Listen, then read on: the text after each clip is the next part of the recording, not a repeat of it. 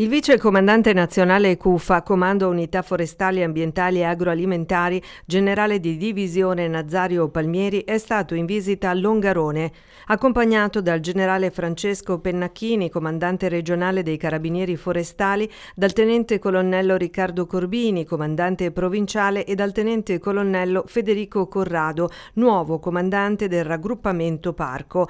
Ha effettuato un sopralluogo al cantiere della nuova caserma dei Carabinieri Forestali naturali del Parco Nazionale Dolomiti Bellunesi, in fase di realizzazione negli edifici dell'ex distretto sanitario di Longarone.